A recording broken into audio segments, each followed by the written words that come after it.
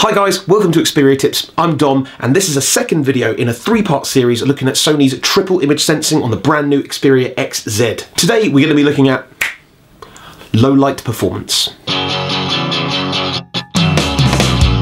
So, last time we looked at the first sensor in this whole cluster of awesomeness, uh, the Exmor RS sensor, which is responsible for, among other things, Sony's amazing predictive hybrid autofocus. But now we're going to move on to sensor number two, which is laser autofocus. Now, this little bad boy here is responsible for taking fast and sharp pictures in the dark. You see, in poor lighting conditions, our eyes may struggle to find the edges of an object or perhaps judge distances, and digital cameras are very, very similar. But what Sony's laser laser autofocus sensor does is fire out a laser to help measure the distance between the camera and the subject that you're trying to photograph.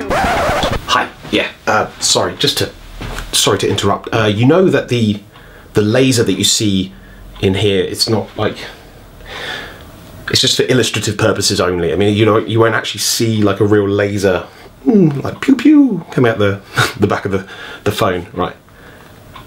I mean, yeah, you, you got that.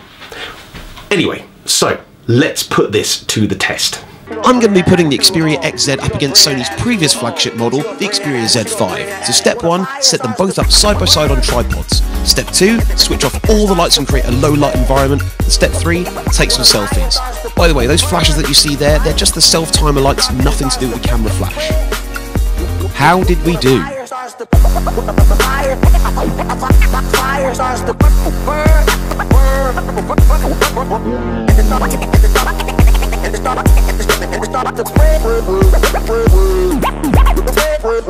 So, as you can see, the Xperia XZ camera benefits massively from having that laser autofocus on it. You get a sharper picture, less noise, and much better colours. And speaking of colour, don't forget to stay tuned for part 3 of this video series where we look at the dedicated colour sensor at the back there.